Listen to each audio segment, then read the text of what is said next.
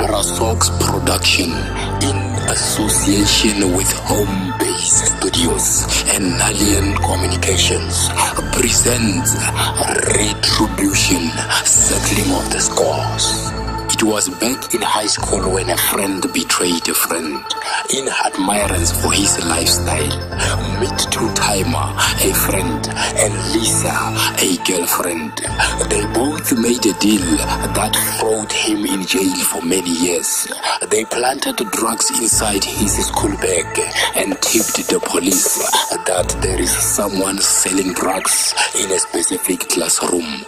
For more than eight years, life continued and the rest of the entire human race continued with their lives. Eight years later, he is released from jail and nobody knew about his release. And when they heard about his return, they feared that he is out for revenge. They started to panic and they were always at watch. But to him, he just wants to settle the score. He started to visit all that he knew, one by one, including his ex that betrayed him. Meet Mario, the player, Lisa, the traitor, two-timer, the two-faced, Lebo, who lives with the heartless stepmother, and a father who's always away on work issues.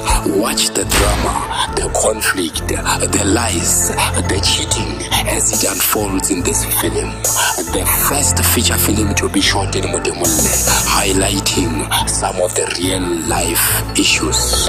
It is a film written, produced, and directed by E.S. Masingi.